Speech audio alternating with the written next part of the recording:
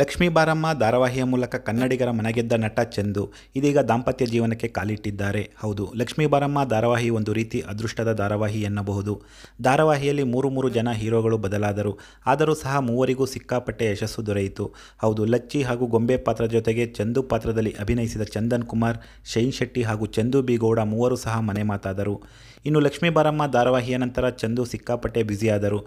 ಬೇರೆ ಭಾಷೆಗಳ ಧಾರಾವಾಹಿಯಲ್ಲಿ ಅವಕಾಶಗಳು ಒದಗಿ ಬಂದವು.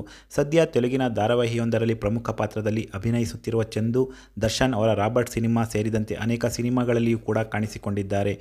ಇನ್ನು ಸದ್ಯ ಇದೀಗ ದಾಂಪತ್ಯ ಜೀವನಕ್ಕೆ ಕಾಲಿಟ್ಟಿರುವ ಚಂದು ಮದುವೆಯ ಸಂಭ್ರಮದಲ್ಲಿದ್ದಾರೆ. ಹೌದು, ಕಳೆದ ನಾಲ್ಕು ವರ್ಷಗಳಿಂದ ಪ್ರೀತಿಸುತ್ತಿದ್ದ ಶಾಲಿನಿ ಎಂಬುವವರನ್ನು ಚಂದು ಮದುವೆಯಾಗಿದ್ದು ನಿನ್ನೆ ಅಕ್ಟೋಬರ್ ಇಪ್ಪತ್ತೊಂಬತ್ತರಂದು ವಿವಾಹ ಸಮಾರಂಭ ನೆರವೇರಿದೆ. ಸದ್ಯದ ಪರಿಸ್ಥಿತಿಯಲ್ಲಿ ಮದುವೆ ಸಮಾರಂಭ ಸರಳವಾಗಿ ಬಹಳ ವಿಶೇಷವಾಗಿ ಜರುಗಿದೆ.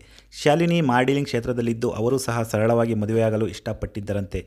ಸ್ನೇಹಿತರ ಮೂಲಕ ಪರಿಚಯವಾದ ಶಾಲಿನಿ ಇಂದು ಚಂದು ಜೀವನದ ಸಂಗಾತಿಯಾಗಿದ್ದಾರೆ. ಈ ವಿಡಿಯೋ ಇಷ್ಟವಾದಲ್ಲಿ ಒಂದು ಲೈಕ್ ಕೊಡಿ, ಹಾಗೆ ನಿಮ್ಮ ಅನಿಸಿಕೆ, ಅಭಿಪ್ರಾಯಗಳನ್ನು ನಮಗೆ ಕಮೆಂಟ್ಸ್ನಲ್ಲಿ ತಿಳಿಸಿ. ನೀವಿನ್ನೂ ನಮ್ಮ ಚಾನಲನ್ನು ಸಬ್ಸ್ಕ್ರೈಬ್ ಆಗಿಲ್ಲ ಅಂದರೆ ಈ ಕೂಡಲೇ ಸಬ್ಸ್ಕ್ರೈಬ್ ಆಗಿ. ಧನ್ಯವಾದಗಳು.